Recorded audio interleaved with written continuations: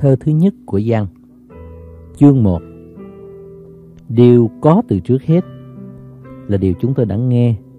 Điều mắt chúng tôi đã thấy, Điều chúng tôi đã ngắm và tay chúng tôi đã rờ Về lời sự sống. Vì sự sống đã bày tỏ ra, Chúng tôi có thấy và đang làm chứng cho. Chúng tôi rao truyền cho anh em sự sống đời đời Vốn ở cùng Đức Chúa Cha Và đã bày tỏ ra cho chúng tôi rồi. Chúng tôi lấy điều đã thấy, đã nghe mà truyền cho anh em, hầu cho anh em cũng được giao thông với chúng tôi. Và chúng tôi vẫn được giao thông với Đức Chúa Cha và với con Ngài là Đức Chúa Giêsu Christ. Chúng tôi viết những điều đó cho anh em, hầu cho sự vui mừng của chúng tôi được đầy dẫy. Này là lời truyền giảng mà chúng tôi đã nghe nơi Ngài và truyền lại cho anh em rằng Đức Chúa Trời là sự sáng. Trong Ngài chẳng có sự tối tăm đâu. Ví bằng chúng ta nói mình được giao thông với Ngài, mà còn đi trong sự tối tăm. Ấy là chúng ta nói dối và không làm theo lẽ thật. Nhưng nếu chúng ta đi trong sự sáng, cũng như chính mình Ngài ở trong sự sáng, thì chúng ta giao thông cùng nhau và huyết của Đức Chúa Giêsu con Ngài làm sạch mọi tội chúng ta. Ví bằng chúng ta nói mình không có tội chi hết ấy là chính chúng ta lừa dối mình và lẽ thật không ở trong chúng ta. Còn nếu chúng ta xưng tội mình thì Ngài là thành tín công bình để tha tội cho chúng ta và làm cho chúng ta sạch mọi điều gian ác. Nhược bằng chúng ta nói mình chẳng từng phạm tội, ấy là chúng ta cho Ngài là kẻ nói dối, lời Ngài không ở trong chúng ta.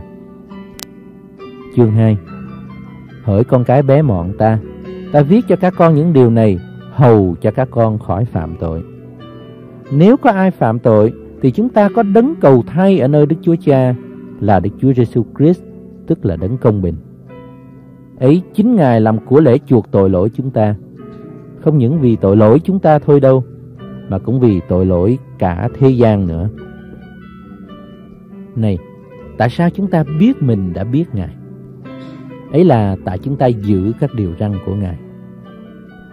Kẻ nào nói ta biết Ngài mà không giữ điều răn Ngài là người nói dối, lẽ thật quyết không ở trong người.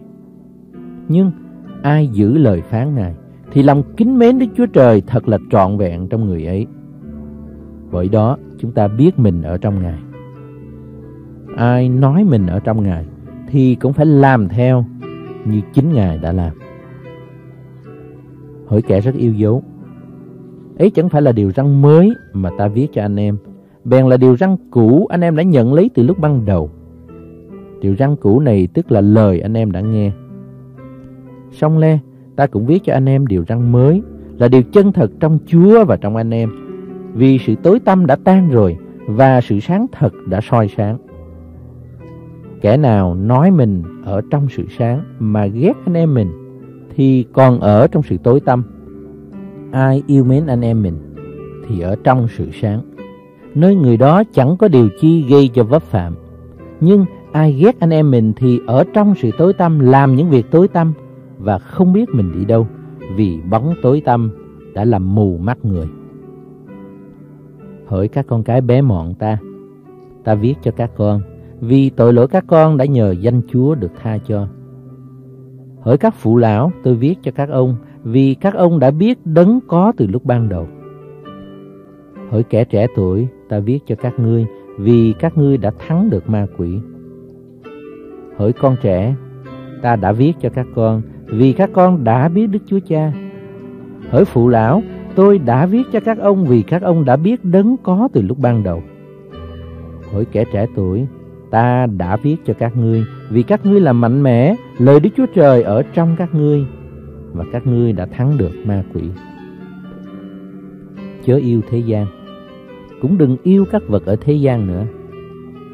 Nếu ai yêu thế gian thì sự kính mến Đức Chúa Cha chẳng ở trong người ấy. Vì mọi sự trong thế gian như sự mê tham của xác thịt, mê tham của mắt và sự kiêu ngạo của đời đều chẳng từ cha mà đến nhưng từ thế gian mà ra. Và thế gian với sự tham dục nó đều qua đi. song ai làm theo ý muốn của Đức Chúa Trời thì còn lại đời đời. Hỡi các con cái ta, giờ cuối cùng là đây rồi. Các con đã nghe nói rằng kẻ địch lại Đấng Christ phải đến. Vừa lúc bây giờ, có nhiều kẻ địch lại Đấng Christ. Bởi đó, chúng ta biết rằng ấy là giờ cuối cùng. Chúng nó đã từ giữa chúng ta mà ra, nhưng vốn chẳng phải thuộc về chúng ta. Vì nếu chúng nó thuộc về chúng ta, thì đã ở cùng chúng ta. Song điều đó đã xảy đến hầu cho tỏ ra rằng mọi kẻ ấy chẳng thuộc về chúng ta vậy. Về phần các con, đã chịu sức dầu từ nơi đấng thánh thì đã biết mọi sự rồi. Ta đã viết cho các con, chẳng phải vì các con không biết lẽ thật, nhưng vì các con biết lẽ thật và hiểu rằng chẳng có sự dối trá nào bởi lẽ thật mà ra. Ai là kẻ nói dối? Há chẳng phải là kẻ chối Đức Chúa Giêsu là Đấng Christ sao? Ấy đó là kẻ địch lại Đấng Christ, tức là kẻ chối Đức Chúa Cha và Đức Chúa Con. Ai chối con thì cũng không có cha, ai xưng con thì cũng có cha nữa. Còn như các con, điều mình đã nghe từ lúc ban đầu phải ở trong các con. Nếu điều các con đã nghe từ lúc ban đầu ở trong mình thì các con cũng sẽ ở trong con và trong cha. Lời hứa mà chính Ngài đã hứa cùng chúng ta, ấy là sự sống đời đời. Ta đã viết cho các con những điều này chỉ về những kẻ lừa dối các con. Về phần các con, sự sức giàu đã chịu từ nơi Chúa vẫn còn trong mình thì không cần ai dạy cho hết. Song vì sự sức giàu của Ngài dạy các con đủ mọi việc mà sự ấy là thật, không phải dối, thì hãy ở trong Ngài, theo như sự dạy dỗ mà các con đã nhận. Vậy bây giờ, hỡi các con cái bé mọn ta, hãy ở trong Ngài. Hầu cho nếu Ngài hiện đến, chúng ta cũng đầy sự vững lòng, không bị hổ thẹn và quăng xa khỏi Ngài trong kỳ Ngài ngự đến. Ví bằng các con biết Ngài là công bình, thì hãy biết rằng người nào làm theo sự công bình, ấy là kẻ bởi Ngài mà sanh ra. Chương 3 Hãy xem Đức Chúa Cha đã tỏ cho chúng ta sự yêu thương dường nào, mà cho chúng ta được xưng là con cái Đức Chúa Trời. Và chúng ta thật là con cái Ngài. Ấy là vì đó mà thế gian chẳng biết chúng ta, vì họ chẳng từng biết Ngài. Hỡi kẻ rất yêu dấu, chính lúc bây giờ chúng ta là con cái Đức Chúa Trời. Còn về sự chúng ta sẽ ra thế nào thì điều đó chưa được bày tỏ. Chúng ta biết rằng khi Ngài hiện đến, chúng ta sẽ giống như Ngài, vì sẽ thấy Ngài như vốn có thật vậy. Ai có sự trông cậy đó trong lòng thì tự mình làm nên thanh sạch, cũng như Ngài là thanh sạch. Còn ai phạm tội tức là trái luật pháp, và sự tội lỗi tức là sự trái luật pháp. Và các con biết Đức Chúa Giêsu Christ đã hiện ra để cất tội lỗi đi và biết trong Ngài không có tội lỗi. Ai ở trong Ngài thì không phạm tội, còn ai phạm tội thì chẳng từng thấy Ngài và chẳng từng biết Ngài. Hỡi các con cái bé mọn, chớ để cho ai lừa dối mình. Kẻ làm sự công bình là người công bình, như chính mình Chúa là công bình. Kẻ nào phạm tội là thuộc về ma quỷ, vì ma quỷ phạm tội từ lúc ban đầu. Và con Đức Chúa Trời đã hiện ra để hủy phá công việc của ma quỷ. Ai sanh bởi Đức Chúa Trời thì chẳng phạm tội, vì hột giống của Đức Chúa Trời ở trong người và người không thể phạm tội được vì đã sanh bởi Đức Chúa Trời. Bởi đó, người ta nhận biết con cái Đức Chúa Trời và con cái ma quỷ. Ai chẳng làm điều công bình là không thuộc về Đức Chúa Trời. Kẻ chẳng yêu anh em mình cũng vậy. Và lời rao truyền mà các con đã nghe từ lúc ban đầu. Ấy là chúng ta phải yêu thương lẫn nhau. Chớ làm như Cain là kẻ thuộc về ma quỷ, đã giết em mình. Vì sao người giết đi? Bởi việc làm của người là giữ còn việc làm của em người là công bình. Hỏi anh em, nếu thế gian ghen ghét anh em, thì chớ lấy làm lạ. Chúng ta biết rằng mình đã vượt khỏi sự chết qua sự sống vì chúng ta yêu anh em mình. Còn ai chẳng yêu thì ở trong sự chết. Ai ghét anh em mình là kẻ giết người. Anh em biết rằng chẳng một kẻ nào giết người có sự sống đời đời ở trong mình. Bởi đó, chúng ta nhận biết lòng yêu thương. Ấy là Chúa đã vì chúng ta bỏ sự sống. Chúng ta cũng nên bỏ sự sống vì anh em mình vậy. Nếu ai có của cải đời này, thấy anh em mình đứng cùng túng mà chặt dạ, thì lòng yêu mến Đức Chúa Trời thế nào ở trong người ấy được? Hỏi các con cái bé mọn, chớ yêu mến bằng lời nói và lưỡi, nhưng bằng việc làm và lẽ thật. Bởi đó chúng ta biết mình là thuộc về lẽ thật và dục lòng vững chắc ở trước mặt Ngài. Vì nếu lòng mình cáo trách mình thì Đức Chúa Trời lại lớn hơn lòng mình nữa và biết cả mọi sự. Hỏi kẻ rất yêu dấu, ví bằng lòng mình không cáo trách thì chúng ta có lòng rất dạng dĩ đặng đến gần Đức Chúa Trời. Và chúng ta xin điều gì mặc dầu thì nhận được điều ấy bởi chúng ta vâng giữ các điều răn của Ngài và làm những điều đẹp ý Ngài. Và này là điều răn của Ngài là chúng ta phải tin đến danh con Ngài, tức là Đức Chúa Giêsu Christ và chúng ta phải yêu mến lẫn nhau như Ngài đã truyền dạy ta. Ai vâng giữ các điều răn Ngài thì ở trong Đức Chúa Trời và Đức Chúa Trời ở trong người ấy. Chúng ta biết Ngài ở trong lòng chúng ta là nhờ Đức Thánh Linh mà Ngài đã ban cho chúng ta. Chương 4 Hỏi kẻ rất yêu dấu Chớ tin cậy mọi thần nhưng hãy thử cho biết các thần có phải đến bởi Đức Chúa Trời chăng? Vì có nhiều tiên tri giả đã hiện ra trong thiên hạ. Bởi điều này hãy nhận biết thánh linh của Đức Chúa Trời. Phàm thần nào xưng Đức Chúa Giêsu Christ lấy xác thịt mà ra đời, Thần đó là bởi Đức Chúa Trời. Còn thần nào không xưng Đức Chúa Giêsu chẳng phải bởi Đức Chúa Trời. Đó là thần của kẻ địch lại Đấng Christ Mà các con đã nghe rằng hầu đến Và hiện nay đã ở trong thế gian rồi hỡi các con cái bé mọn Phần các con là thuộc về Đức Chúa Trời Đã thắng được họ rồi Vì đấng ở trong các con là lớn hơn kẻ ở trong thế gian. Họ thuộc về thế gian, cho nên nói theo như thế gian, và người thế gian nghe họ. Chúng ta thuộc về Đức Chúa Trời. Ai nhìn biết Đức Chúa Trời thì nghe chúng ta, còn ai chẳng hề thuộc về Đức Chúa Trời thì chẳng nghe chúng ta. Ấy bởi đó chúng ta nhìn biết thần chân thật và thần sai lầm. hỡi kẻ rất yêu dấu. Chúng ta hãy yêu mến lẫn nhau. Vì sự yêu thương đến từ Đức Chúa Trời. Kẻ nào yêu thì sanh từ Đức Chúa Trời và nhìn biết Đức Chúa Trời. Ai chẳng yêu thì không biết Đức Chúa Trời, vì Đức Chúa Trời là sự yêu thương. Lòng Đức Chúa Trời yêu chúng ta đã bày tỏ ra trong điều này. Đức Chúa Trời đã sai con một ngày đến thế gian, đặng chúng ta nhờ con được sống này, sự yêu thương ở tại đây.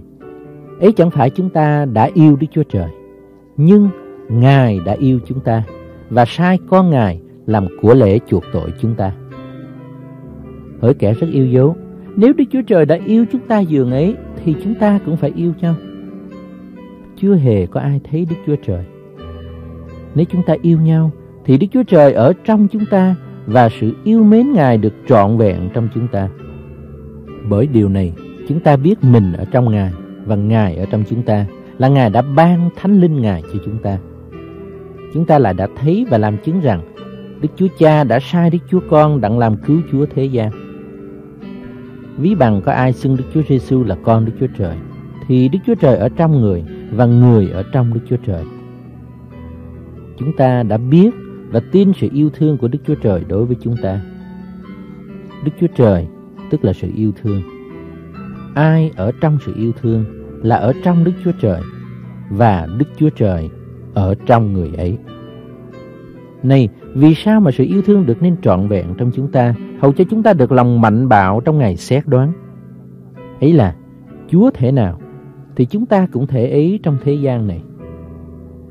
Quyết chẳng có điều sợ hãi trong sự yêu thương, nhưng sự yêu thương trọn vẹn thì cắt bỏ sự sợ hãi, vì sự sợ hãi có hình phạt và kẻ đã sợ hãi thì không được trọn vẹn trong sự yêu thương. Chúng ta yêu vì Chúa đã yêu chúng ta trước. Ví có ai nói rằng ta yêu Đức Chúa Trời mà lại ghét anh em mình thì là kẻ nói dối. Vì kẻ nào chẳng yêu anh em mình thấy, thì không thể yêu Đức Chúa Trời mình chẳng thấy được. Chúng ta đã nhận nơi Ngài điều răn này. Ai yêu Đức Chúa Trời, thì cũng phải yêu anh em mình. Chương 5 Ai tin Đức Chúa Giêsu là Đấng Christ thì sanh bởi Đức Chúa Trời, Và ai yêu Đức Chúa Trời là đấng đã sanh ra thì cũng yêu kẻ đã sanh ra bởi Ngài. Chúng ta biết mình yêu con cái Đức Chúa Trời khi chúng ta yêu Đức Chúa Trời và giữ vẹn các điều răn Ngài. Vì này là sự yêu mến Đức Chúa Trời, tức là chúng ta vâng giữ điều răn Ngài. Điều răn của Ngài chẳng phải là nặng nề. Vì hễ sự gì sanh bởi Đức Chúa Trời thì thắng hơn thế gian và sự thắng hơn thế gian ấy là đức tin của chúng ta. Ai là người thắng hơn thế gian? Há chẳng phải kẻ tin Đức Chúa Giêsu là con Đức Chúa Trời hay sao? Ấy chính Đức Chúa Giêsu Christ đã lấy nước và huyết mà đến, chẳng những lấy nước mà thôi, bèn là lấy nước và huyết. Ấy là Đức Thánh Linh đã làm chứng, vì Đức Thánh Linh tức là lẽ thật. Vì có ba làm chứng, Đức Thánh Linh, nước và huyết. Ba ấy hiệp một. Ví bằng chúng ta nhận chứng của loài người thì chứng của Đức Chúa Trời trọng hơn. Và chứng của Đức Chúa Trời ấy là chứng mà Ngài làm về con Ngài. Ai tin đến con Đức Chúa Trời thì có chứng ấy trong mình. Còn ai không tin Đức Chúa Trời thì cho Ngài là kẻ nói dối vì chẳng tin đến chứng Đức Chúa Trời đã làm về con Ngài. Chứng ấy tức là Đức Chúa Trời đã ban sự sống đời đời cho chúng ta và sự sống ấy ở trong con Ngài. Ai có Đức Chúa Con thì có sự sống. Ai không có con Đức Chúa Trời thì không có sự sống. Ta đã viết những điều này cho các con, hầu cho các con biết mình có sự sống đời đời, là kẻ nào tin đến danh con Đức Chúa Trời. Này là điều chúng ta dạng dĩ ở trước mặt Chúa.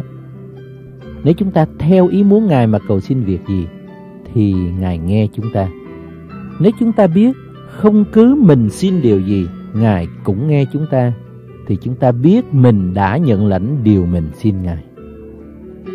Vì có kẻ thấy anh em mình phạm tội mà tội không đến nỗi chết thì hãy cầu xin. Và Đức Chúa Trời sẽ ban sự sống cho, tức là ban cho những kẻ phạm tội mà chưa đến nỗi chết. Cũng có tội đến nỗi chết, ấy chẳng phải vì tội đó mà ta nói nên cầu xin. Mọi sự không công bình đều là tội, mà cũng có tội không đến nỗi chết. Chúng ta biết rằng ai sanh bởi Đức Chúa Trời thì hẳn chẳng phạm tội. Nhưng ai sanh bởi Đức Chúa Trời thì tự giữ lấy mình. Ma quỷ chẳng làm hại người được. Chúng ta biết mình thuộc về Đức Chúa Trời, còn cả thế gian đều phục dưới quyền ma quỷ. Nhưng chúng ta biết con Đức Chúa Trời đã đến. Ngài đã ban trí khôn cho chúng ta, đặng chúng ta biết đấng chân thật. Và chúng ta ở trong đấng chân thật là ở trong Đức Chúa Giêsu Christ, con của Ngài. Ấy chính Ngài là Đức Chúa Trời chân thật và là sự sống đời đời. Hỡi các con cái bé mọn, hãy giữ mình về hình tượng. Thơ thứ hai của văn Trưởng lão đặt cho bà được chọn kia cùng con cái bà mà tôi thật yêu dấu. Nào những tôi yêu dấu thôi đâu, nhưng hết thảy mọi người biết lẽ thật cũng yêu dấu nữa. Điều đó vì cớ chính lẽ thật ở trong chúng ta lại sẽ ở với chúng ta đời đời.